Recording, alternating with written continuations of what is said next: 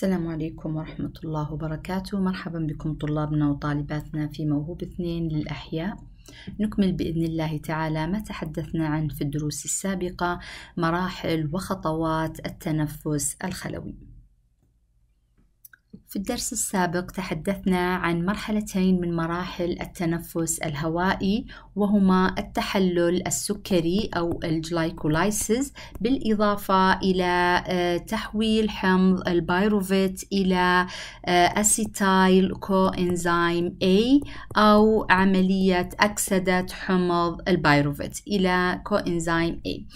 بالنسبة في عملية التحلل السكري ذكرنا أن سكر الجلوكوز سيتحلل تحلل إلى جزيئين من حمض البايروفيت ونتيجة لعملية التحلل آه، أنتجت منها أو نتيجة لعمل كسر الرابطة آه، أنتج 4 ATP بالإضافة إلى NADH وكان عندنا أيضا 2 NADH آه، ذكرنا أن ATP لن يحسب منها إلا فقط جزيئين من ATP بينما جزيئين ستعود مرة أخرى للخ الخلية لأني استخدمتها في البداية. في عملية آه، أكسدة البايروفيت وتحويله إلى acetyl coenzyme A. ذكرنا أنه راح ينتج عندي أيضا جزيئين من مركب acetyl coenzyme A آه، عبارة عن جزيئين. بالإضافة إلى أن نتج عندي جزيئين من NADH من هذه العملية. دعونا نعود مرة أخرى للمعادلة. استخدمنا سكر الجلوكوز الذي انشطر وأعطاني جزيئين من البايروفيت الأكسجين لم نتحدث بعد عن الأكسجين. ثاني أكسيد الكربون انطلقت أثناء عملية أكسدة حمض البايروفيت وتحويله إلى acetyl coenzyme A فقط جزيئين من ثاني أكسيد الكربون لأنه تم فقد إحدى ذرات الكربون من كل جزيء فانطلق فقط جزيئين فيتبقى أربع جزيئات من ثاني أكسيد الكربون لم نتحدث عنها بعد. H2O لم نتحدث بعد عن الماء ولم يخرج الماء إلى الآن من عملية التنفس الهوائي. 38 ATP لم يحدث سوى 2 ATP إلى الآن ولم تتكون باقي جزيئات ATP إلى الآن. ننتقل الآن لنتحدث عن ثالث مرحلة من مراحل التنفس الهوائي أو دورة كريبس. نطلق عليها اسم دورة كريبس نسبة إلى العالم كريبس أو نطلق عليها اسم citric acid cycle أو دورة حمض الستريك نطلق عليها اسم دورة حمض الستريك لأني في دورة كريبس والتي ستحدث في حشوة الميتوكوندريا داخل الميتوكوندريا سيتحد ال acetyl coenzyme A اللي تكون عندي في بداية دخوله إلى الميتوكوندريا مع مربى مع مركب عفوا يتكون مع مركب رباعي الكربون يتكون من أربع ذرات كربون. نطلق عليه اسم مركب oxaloacetate. مركب oxaloacetate هذا عبارة عن مركب موجود داخل الميتوكوندريا. راح أستخدمه في دورة حمض الستريك ومن ثم أعيده مرة أخرى إلى الميتوكوندريا لذلك نطلق عليها اسم دورة لأنها راح نبدأ بمركب ونعيد هذا المركب مرة أخرى للخلية كما هو. بعد عملية الاتحاد سيتكون عندي مركب سداسي الكربون هو عبارة عن حمض الستريك الذي سيدخل في عدة تفاعلات نتيجة لهذه التفاعلات راح تنتج عندي كمية كبيرة من الطاقة كما سنشاهد.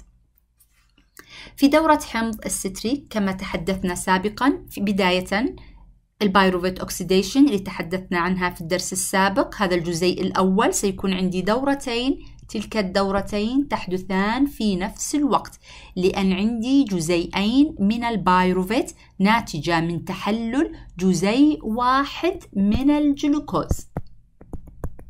فراح يكون هنا عندي ال pyruvate رقم واحد هنا ال pyruvate رقم اثنين. أول ما دخلت إلى غشاء الميتوكوندريا مباشرة حدثت لها عملية أكسدة وخرج واحد من ذرات الكربون المكونة لل pyruvate إلى الوسط الخارجي في صورة CO2 وفي صورة CO2 فكان الناتج 2CO2 من هذه العملية. ونتيجة لعملية الأكسدة تم اختزال NAD هنا إلى NADH. وأيضا NAD هنا إلى NADH. فتكون عندي 2 NADH. وتكون جزيئين من acetyl coenzyme A. هنا جزيء وهنا جزيء. عندما يدخل ال acetyl coenzyme A إلى داخل ال citric acid cycle سيتحد بمركب موجود هنا في الخلية. هو ال oxaloacetate وهنا أيضا ال oxaloacetate يتحد مع ال acetyl مكونا. حمض الستريك. حمض الستريك سيدخل في تفاعلات عديدة جدا. أثناء هذه التفاعلات سيتم كسر جميع الروابط الموجودة هنا. في ال acetyl سيتم تحرير ذرات الكربون وستنطلق في هذه الدورة في صورة جزيئين من ثاني أكسيد الكربون وهنا جزيئين من ثاني أكسيد الكربون ليخرج أربع ذرات من آه، جزيئات عفوا من ثاني أكسيد الكربون إلى الوسط الخارجي. وبكذا نكون أنتجنا الست جزيئات ثاني أكسيد الكربون التي تحدثنا عنها. أيضا أثناء عملية تحول هذا الحمض حتى يصل إلى شكله الأولي وهو الأوكزالو أسيتيت فإنه تحدث له عملية اختزال فيختزل هنا تحدث له عفوا عملية تحويل من شكل إلى آخر ويختزل مركب NAD ويتحول هنا إلى NADH آه، جزيئين. أيضا هنا يختزل NAD ويتحول إلى NADH أيضا هنا تصدر آه، في هذه المرحلة آه، جزيء من ATP يتحول ADP إلى ATP جزيء جزيء في هذه الدورة جزيء في هذه الدورة. أيضا هنا يختزل مركب يسمى FAD. هذا مركب أيضا خازن للطاقة ويتحول إلى FADH2 هنا جزيء وهنا جزيء. في نهاية الحلقة أيضا سيتم اختزال ناد وتحويله إلى ناد H. هنا جزيء وهنا جزيء. لنخرج بست جزيئات من ناد H. من ثلاثة من هذه الحلقة الأولى وثلاثة من الحلقة الثانية بالإضافة إلى جزيئين من ATP جزيء هنا وجزيء هنا فسنخرج ب جزيئين من ATP وجزيئين من FADH2 هذا بالنسبة للنواتج التي سنخرج بها من ال citric acid cycle أو حلقة كريبس ويتكون في النهاية ال oxaloacetate المركب اللي أنا بدأت فيه أعيده للخلية كما هو.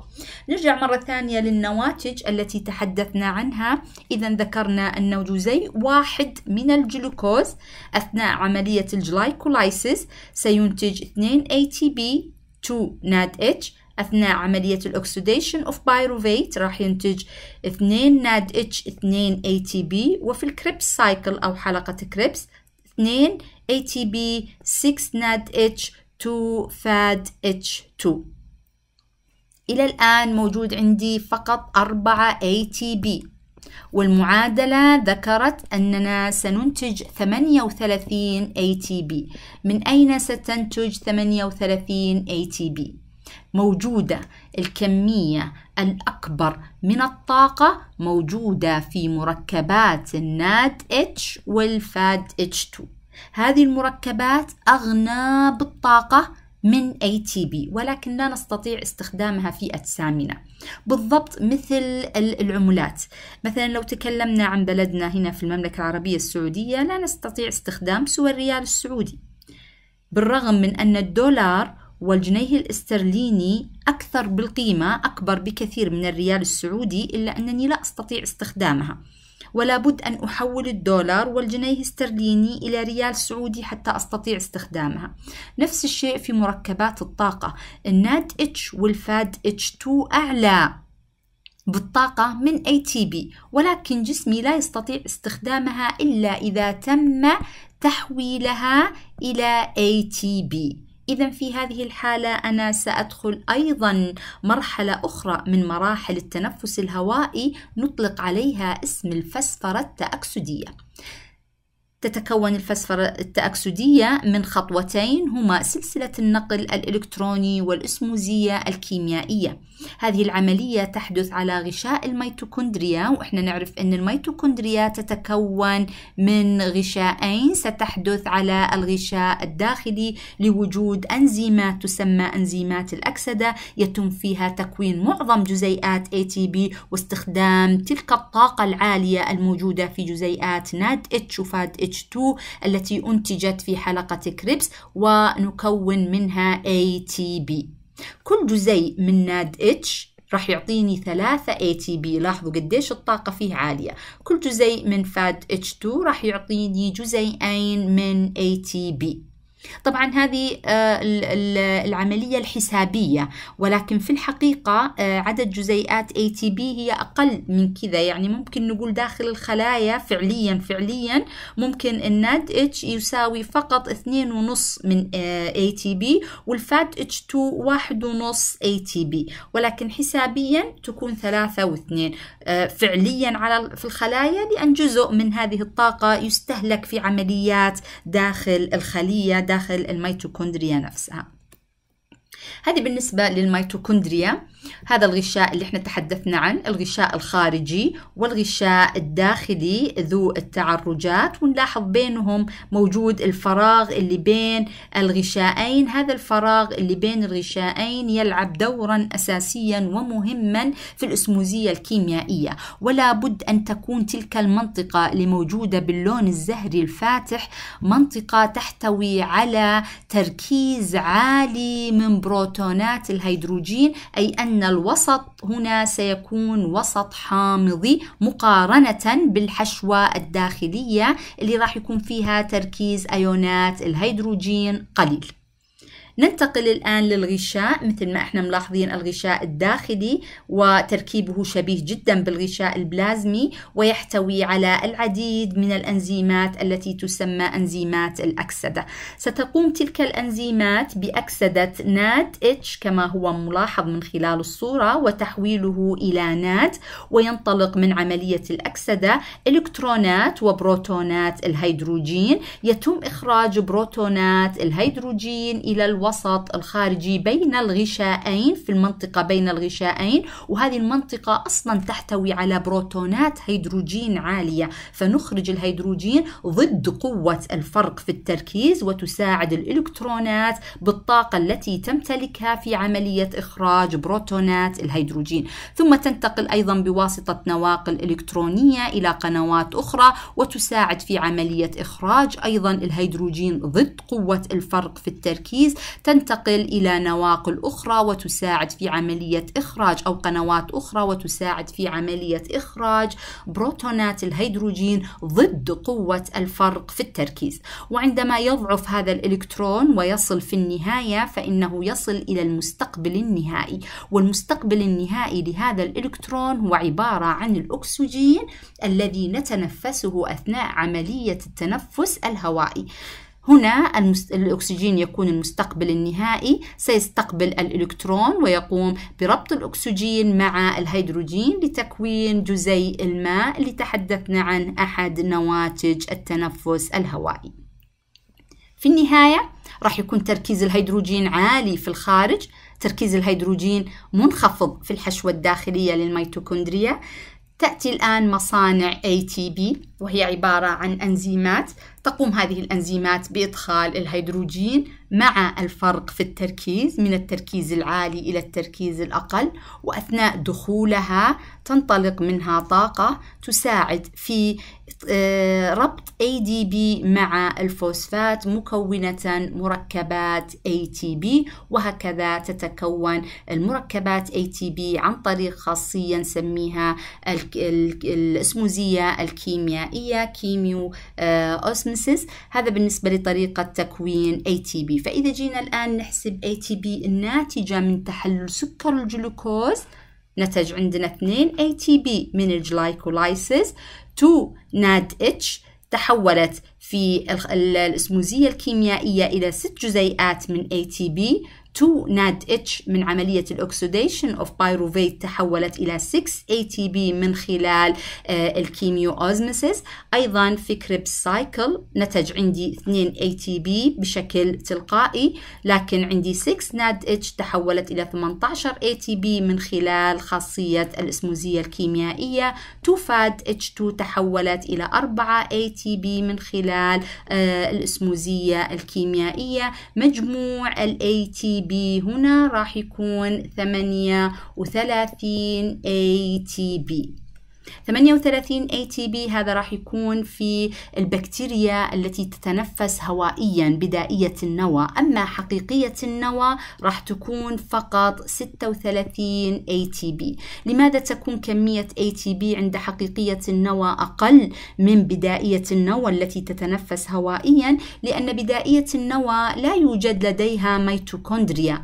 فتحدث جميع الخطوات سابقة الذكر في السيتوبلازم ويساعد الغشاء الغشاء البلازمي في الخاصية الكيميائية. بينما في حقيقية النوى لابد أن تحمل البايروفيت وال NADH إلى داخل الميتوكوندريا وعملية حملها هذه تحتاج إلى تقريبا جزيئين من ATP فنعيد اثنين من ATP مرة أخرى للخلية فيكون الصافي هو 36 ATP كذا نكون انتهينا من مراحل التنفس الهوائي. في الدرس القادم بإذن الله تعالى ننتقل لنتحدث عن ثاني نوع من أنواع التنفس في الكائنات الحية. شكرا لاستماعكم والسلام عليكم ورحمة الله وبركاته.